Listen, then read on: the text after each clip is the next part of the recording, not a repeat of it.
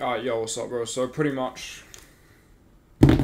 this video is just about momentum because I see this a lot. So, this isn't necessarily common in the self improvement space, but usually when I see someone trying to quit something or start something up, they will go 100 miles an hour on starting it, or they'll try cold turkey it when they're quitting it. What I mean is like they're addicted to smoking weed. They smoke five days a week, and everyone around them also smokes.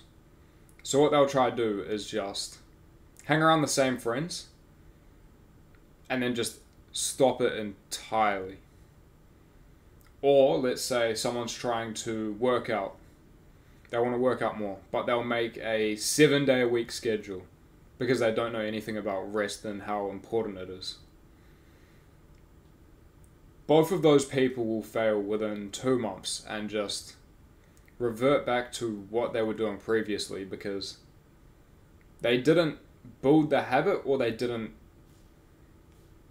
get rid of the habit slowly. Because it's all about momentum, not speed. It's all about taking it slowly and gradually, like increasing or decreasing. That is by far the easiest way to do it. Once you realize this and you start being consistent and you're like, you've taken it slowly, so you've built that, I guess you could say foundation. You've built up the discipline to either quit or start that thing. You will thrash anyone else that isn't taking it that way. Because you build up the foundation so you can stick to this routine as if it's just like your normal bicep curls now.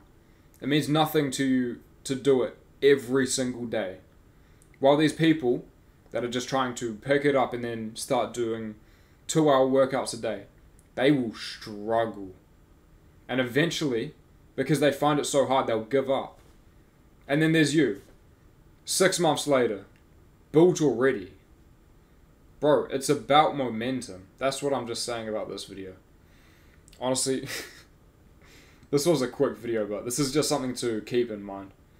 Um, click this video right here and subscribe if you want. Peace.